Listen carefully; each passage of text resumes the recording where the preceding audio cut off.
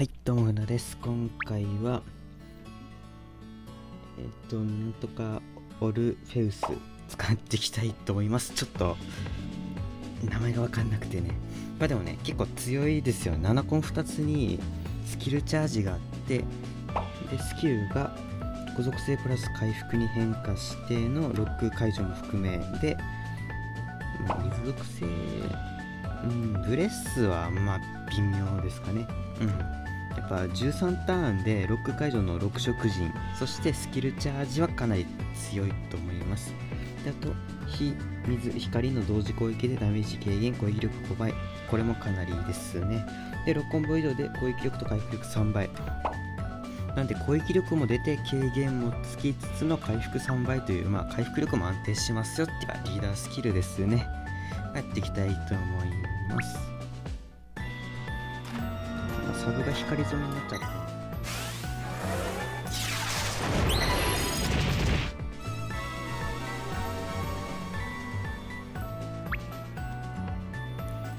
まあまあまあ気を取り直しねまたやっていきましょう。アザゼルね。これはね弾いてくれるからいいよ。オッケーオッケーオッケー。まアザゼルならね結構固めのキャラだから火力がどんだけあるのかっていうね分かりやすいからねそういうのは。うんうん。火力がどんだけ出るか確認がしやすいからね。いやこれはありがたいですね。うん。ちょっと医療者テストだけはやめてほしかった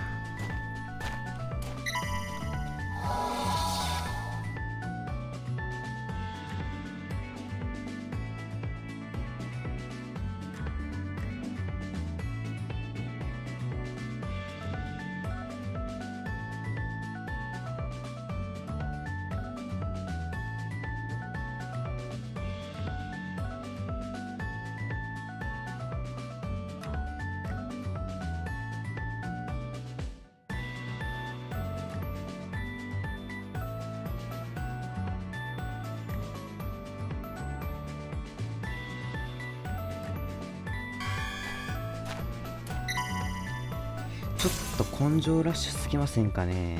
気のせいですかね。まあでもイデアルいるんで全然構わないんですけど。よしじゃあ倒していきましょう。いやー根性だってもね。遅延の前。じゃさすがにね。耐えたとしてだよその次なかったら終わりですから。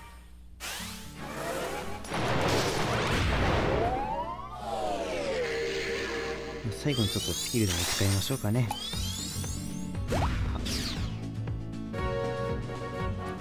こういう時にブレス役役立ってはないですけど使えますね。